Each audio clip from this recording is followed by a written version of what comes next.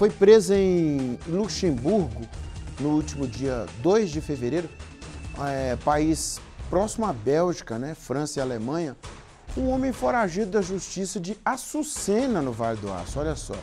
Ele foi condenado a 16 anos e 6 meses de prisão por um homicídio em 2017. É o que eu sempre digo aqui, né? A pessoa às vezes tem uma condenação a cumprir, ah, vou mudar de país que ninguém vai me encontrar. Não tem como. A Gisele vai contar sobre isso aí, né? Como é que foi essa prisão, hein, Gisele?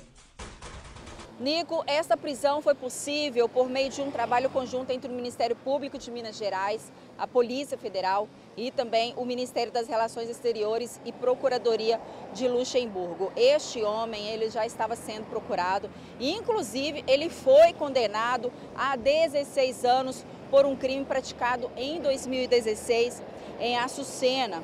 Este homem, que teve o nome divulgado pelo Ministério Público, Hudson Ferreira Martins, de 42 anos, foi condenado pela prática de homicídio por motivo torpe, recurso que dificultou a defesa da vítima e também por efetuar disparos de arma de fogo, colocando em risco outras pessoas.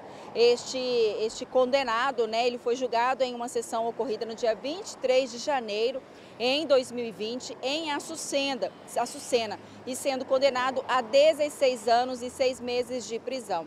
A, a, a, prisão dele ocorreu em Luxemburgo no dia 2 de fevereiro, país próximo à Bélgica, França e Alemanha. Nico?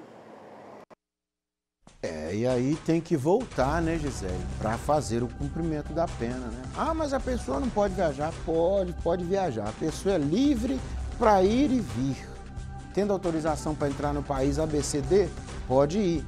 Agora, a pessoa tem uma sentença penal condenatória a cumprir. Não pode sair, tem que cumprir.